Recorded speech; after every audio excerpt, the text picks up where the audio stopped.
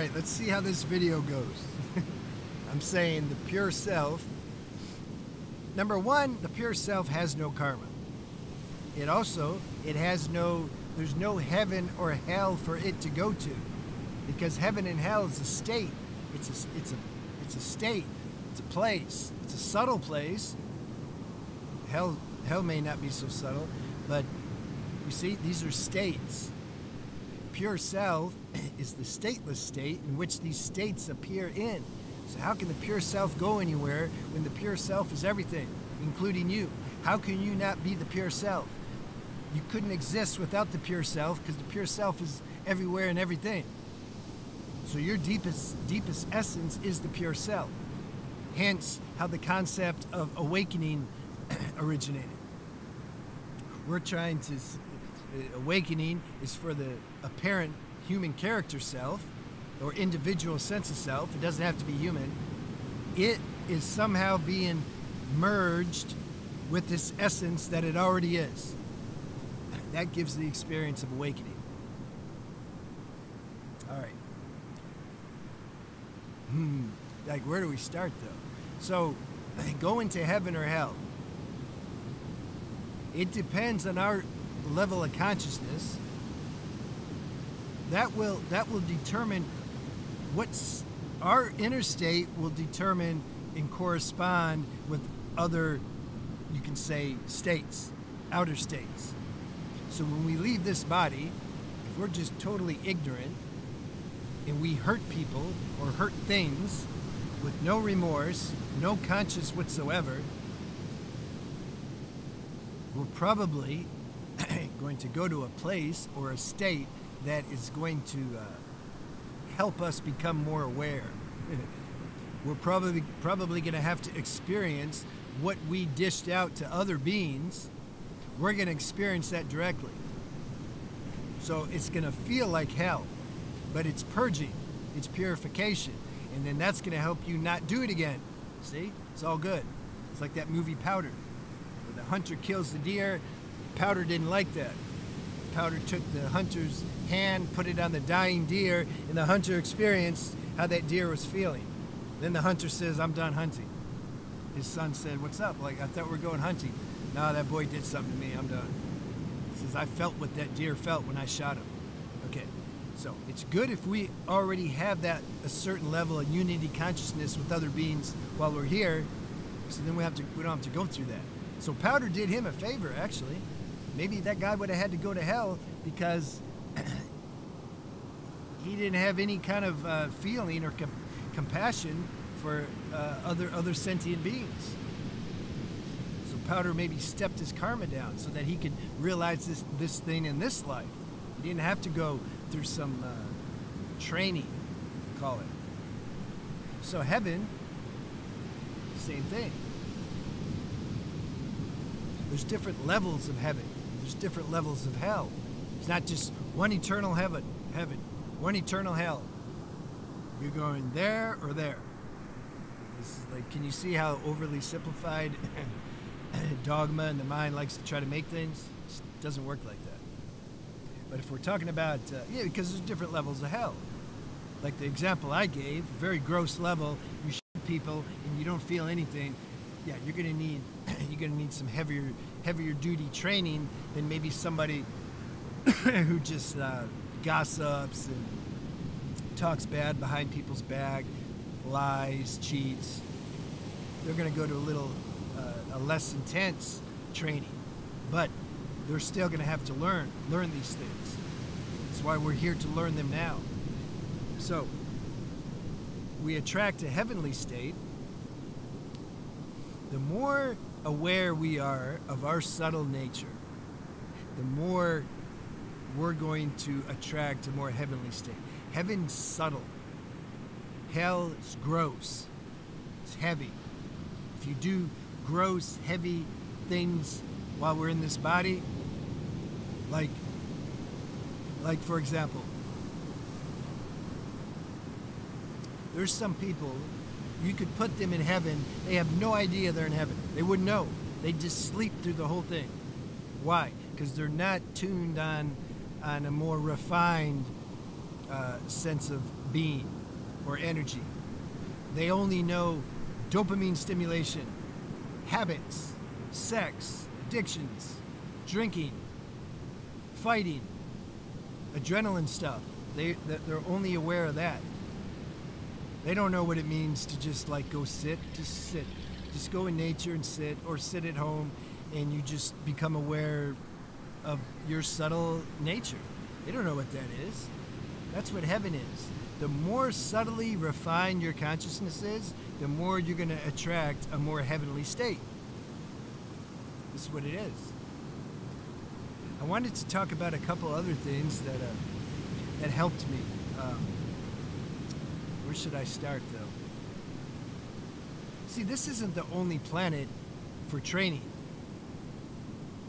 This is this is like the grossest level training. We come here when we, there's certain desires that more on more gross level that we want to experience. We want to experience what it's like to be, you know, really good at something and get a lot of praise from people or what is it like to be a model or to be uh, you know sex or you know stimulating the senses? How can we get our senses stimulated? I'm addicted to having my senses stimulated. If those desires are strong, we have to come here because this is the planet for that. When those things have been satiated or transcended, it's a better word. They never get satiated. They get satiated via transcendence. Then we might hang out. We don't have to come back here unless later we become an avatar, and then by divine grace, we're supposed to come here as as an instrument to help raise the consciousness of people like Jesus and Buddha and Muhammad, etc. So if we uh, transcended this very earthly level of consciousness, then we might just hang out in the astral dimensions. There's training there too. There's training in heaven. You don't just, like, what do you think heaven is? You just sit there and I'm in heaven. It's a state. There's, there's some kind of uh, you know, there, there's a function to fulfill in every state. So that's more advanced level training, the more subtle dimensions. It's, it's a more refining of this, uh, of, of, of the consciousness expanding. More refining. You're looking, you're looking more on like root level. Like you don't have a desire for things, but you can feel the desire still there, maybe in some abstract level. There's still something that's kind of wanting a kick, wants a hit. That's but it doesn't take any shape. It's just that, you know, tendencies there. So then you work that stuff out on the more on the astral dimensions, or maybe you you still it's fun flying around. Maybe you want to, you know, you want to fly around. You want to materialize things. The other dimensions are for that. But at some point, that gets boring. It's a constant refinement to where you're free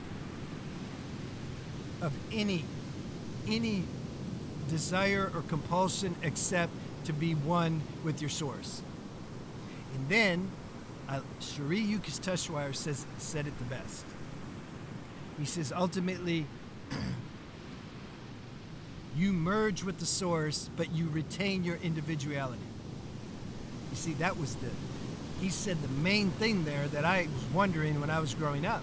Because I'm like, once you become enlightened, that's it? You just vanish? Well, who wants to become enlightened?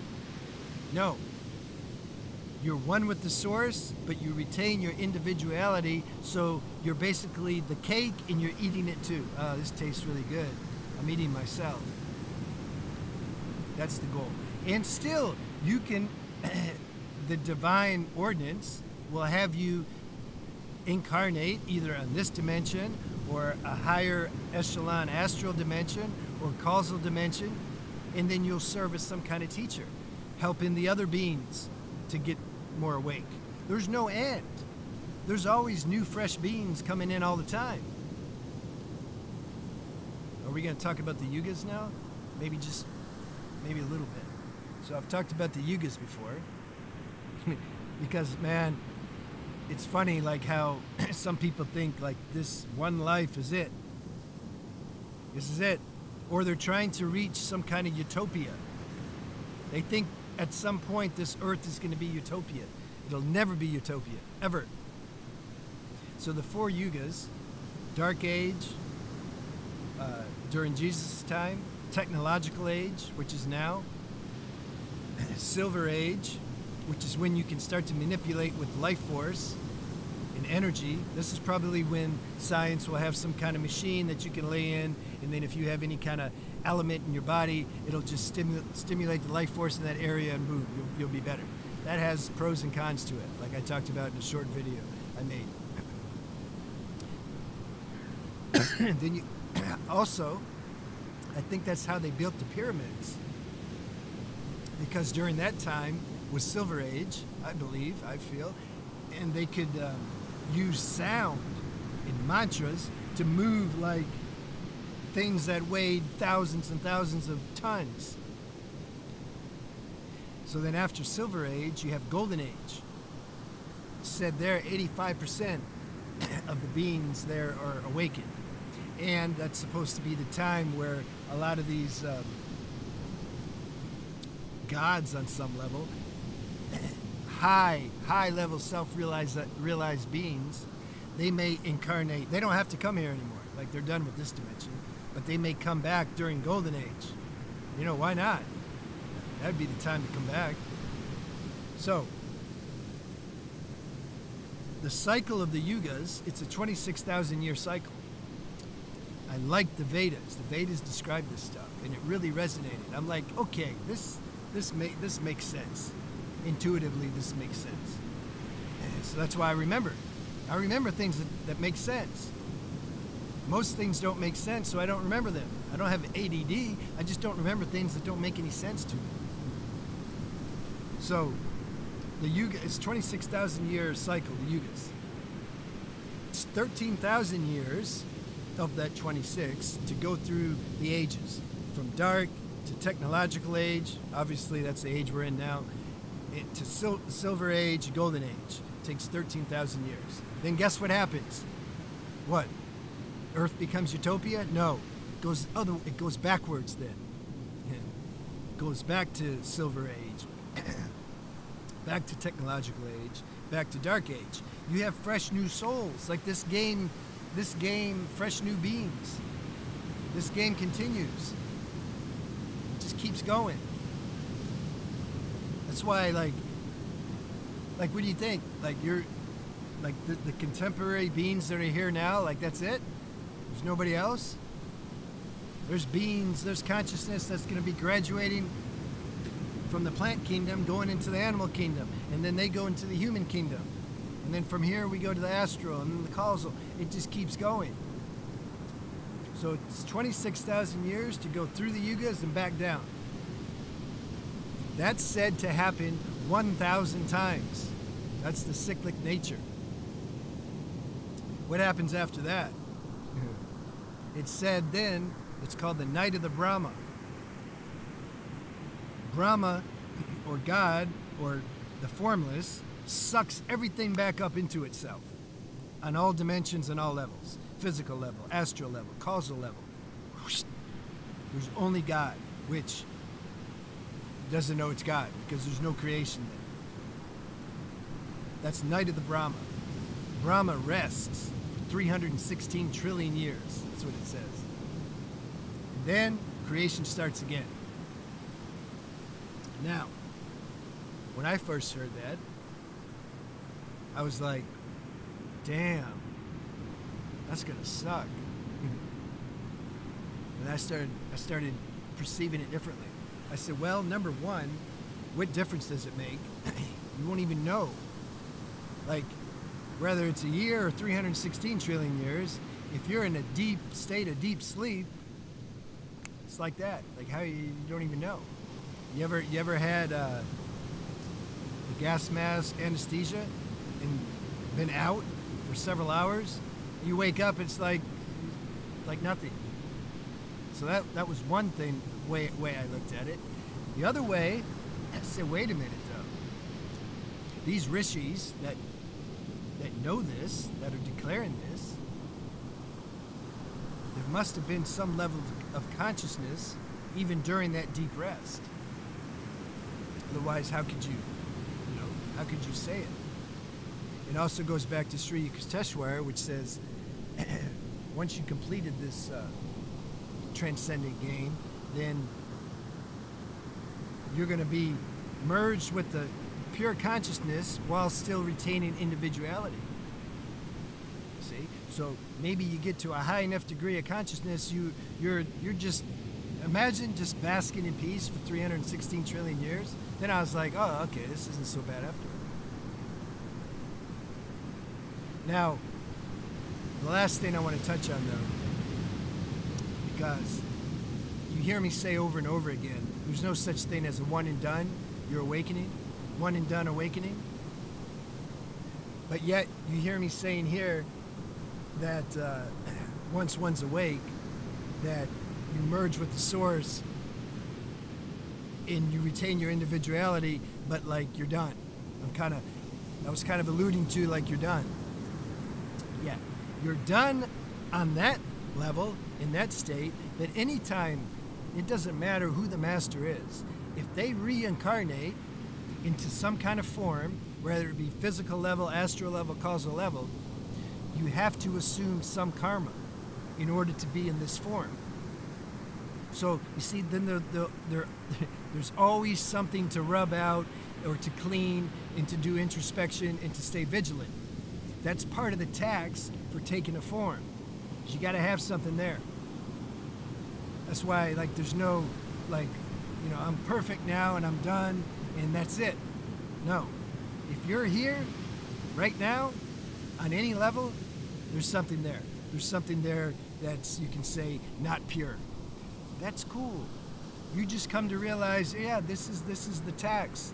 No problem. I'll pay that tax. I enjoy the sense of exist- existence.